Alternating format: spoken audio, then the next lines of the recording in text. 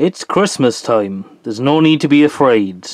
At Christmas time, we let in light. No, okay. Um, so today we have the December edition of Gacha Gacha Crate, and I believe either the last one or my penultimate one, as I've unsubscribed from this. I've gone back to Japan Crate, which is the um, parent company with the snacks. But as always, let's take a quick look. There's the front of the box. There's the side. If you want to visit them on some social media things, that's the cute little Shiba Inu dude.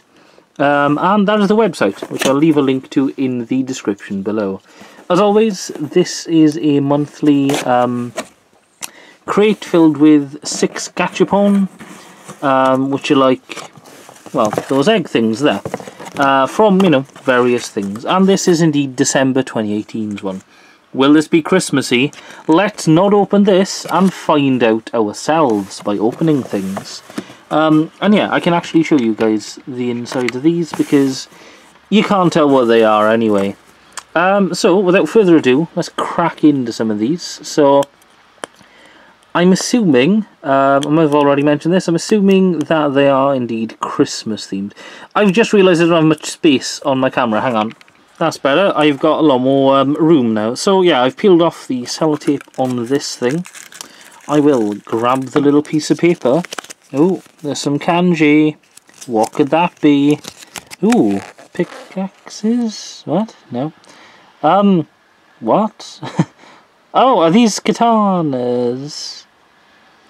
So they look like katana holders, I guess. What the, the hell is that white? Okay, I suppose that's a wrap. Okay, so they're katanas with like charms and stuff on them. Yeah, it looks very traditionally Japanese. Uh, that's some text on the back. So, Ooh, we have a bronze one, maybe? Um, yeah. Okay then. So, that is the one we got. And by we, I mean I. Hmm, very nice symbol. I like the, um, you know, never-ending kind of thing of it. Ooh, what does the kanji say? Can you read that? Because I sure as shit cannot. Um, I can read kana, but not that. Obviously, this doesn't come off, but yeah, this is quite a nice one. It's got a nice little black thing tied around it. It's kind of bronzy. It looks like a katana. Ready? Let's take a look at what the hell this is. So this is indeed a samurai sword keychain. It's a collection of gachas featuring themed traditional Japanese swords. Um, now, unfortunately, obviously, I can't read uh, kanji at all. So, I mean, while, while that's cool, it does slightly bother me a little bit that they didn't, like, translate what the, um, what the varieties are, because I'd really like to know more. And I mean, I could probably find out what that says. And yeah, apparently this is to, like, demonstrate the artistry of the hilt, because as we can see here, the hilt uh, is the same pattern as this, that little metal thing there. So yeah, it's really cool. Um, as I said, it it probably has a lot more meaning to people that can read what it says. Um, but yeah, that is really cool. That is something I definitely appreciate. You know, it's just niche and weird enough. Um, right, I'm gonna get rid of this sellotape and be right back.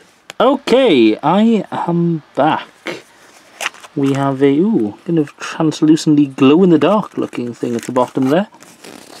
Oh, that that's a uh, is that E Honda, or is that just a sumo? Oh, oh, again very traditional Japanese things today. So we got uh, sumo wrestler. We got like the judge, I think, and other sumo wrestlers. Very nice. Okay, and this is by Kitan Club. As I said, Kitten Club uh, originally.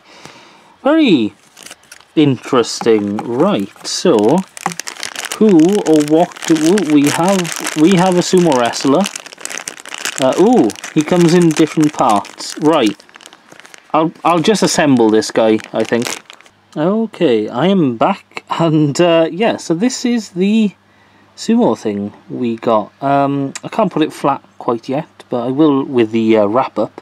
So yeah, so when I unpacked it, I didn't uh, notice this stand. I was like, ah, it's a stretching sumo. But then I was like, how do you display this? But yeah, I found this, clips on there, very nice, actually. Uh, I'm a lot more pleased with it than I thought I would be because he's he's doing the sort of get up, you know, prepared pose kind of thing. So, yeah, a very nice figure, actually.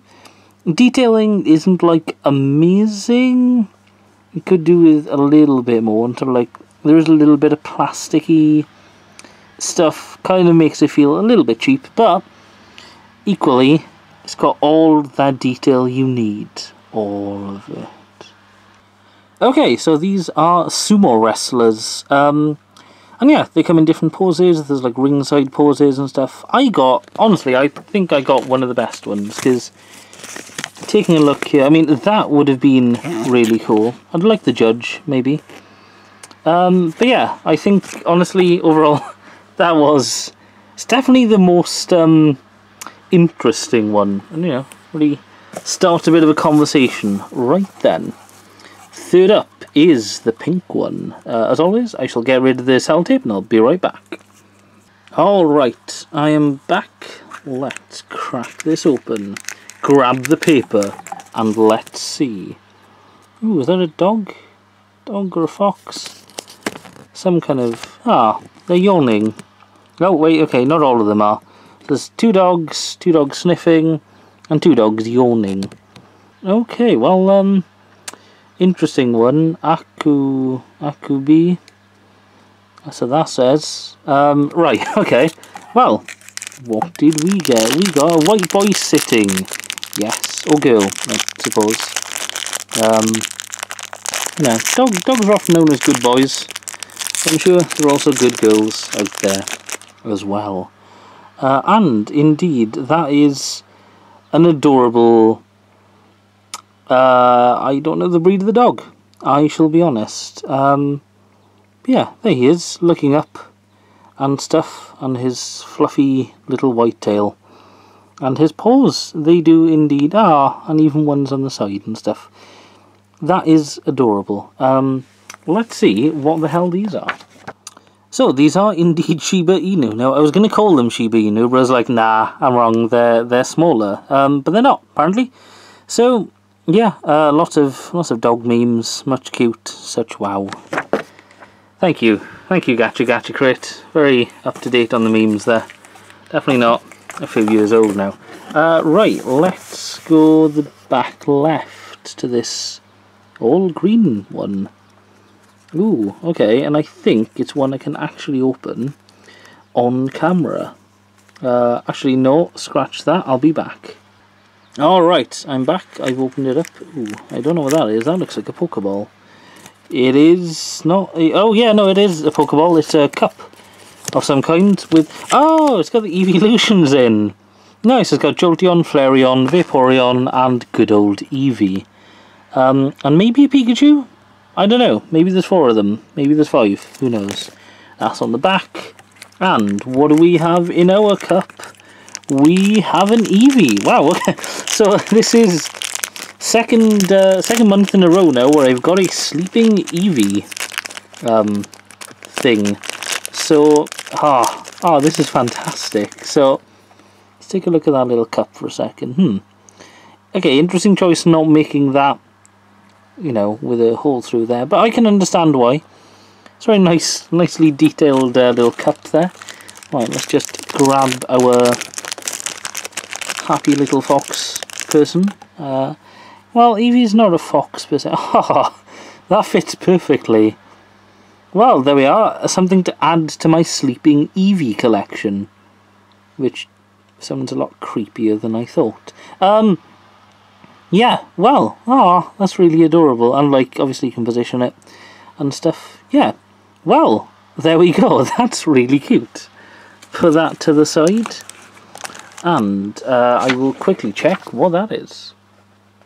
This is a surprise Gachapon, so there's nothing to learn, apparently. Um, yeah, so it's like, it's completely random, apparently, which is very fitting for a Gachapon thing. But yeah, genuinely, um, I think I probably got one of the best surprise ones. That is, that is fantastic. Right, let's get on to the next one. This, ooh, I really like this green colour.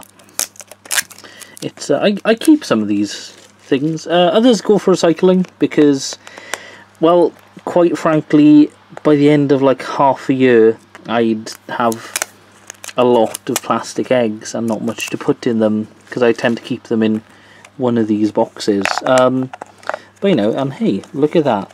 I managed to get all the tape off whilst talking to y'all. So, right, let's see, what is this?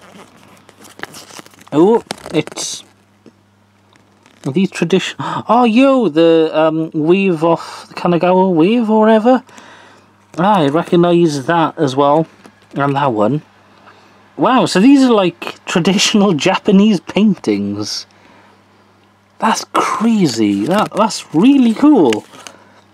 Wow, I really hope I get the wave. I mean, I know it's sort of the, the most popular one, but let's see. What one did we get? Ooh, I've got it faced away, so we won't know until I pull it out. Is it the right way? Who knows? Oh, well, if you can read kanji, you already know what it is. Yo! It's the wave! Nice! Um, what? Hang on, let me have a look. Alright, I'm an idiot, so yeah, you can, obviously you read kanji like that. I was, I was thinking it went like that and couldn't work out. But yeah, so that's the, oh, that's so cool. I mean, I'd have been happy with any of them, honestly, but like, you know, obviously this is one of the most famous Japanese paintings, um, I think, and one I really, really like, actually. Um, I've got a t-shirt, actually, with this on, with like a Blastoise behind it. Um, I'm sure some art critics would shiver at the thought of such uh, callous corporatism, but, you know, uh, I don't care. And so, move on to a final. Now, I can kind of... I think you got a peek of what was in there, but I couldn't actually make... Oh, actually, wait, hang on, two seconds. So this is the Hokusai Gachapon. So I think Hokusai is the artist. And it actually says, this collection includes his great work, The Great Wave of Kanagawa. Um, so apparently they're also fridge magnets, which is really cool.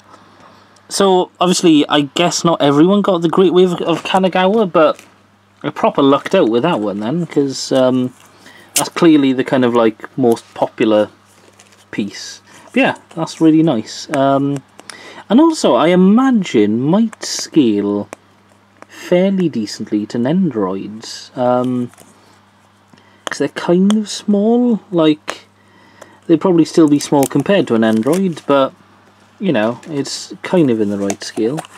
Anyway, our final one, what will this paper advertise? Ooh, what? Bears? Bears? Bunnies? They look like crackers, like animal crackers, basically. An elephant, a gorilla, koala, lion, bunny, and a bear. What are these? Who knows? Uh, 300 yen, which is about like three quid or something. Ooh, and we got the bunny. Oh, nice. I really like rabbits. Um, I had two rabbits for a few years. Then they died. But, um, but you know, still missed salt and pepper if you're watching this in the... Ooh! Ooh, it's soft as well. Okay. Uh, yes, I'm still not completely sure. Is this meant to look like a cookie? Kind of like a, you know, biscuity thing? Well, right, let's find out.